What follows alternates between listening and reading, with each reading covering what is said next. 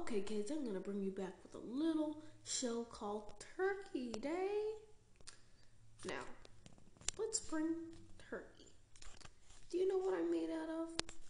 Turkey. And every day we celebrate that every year.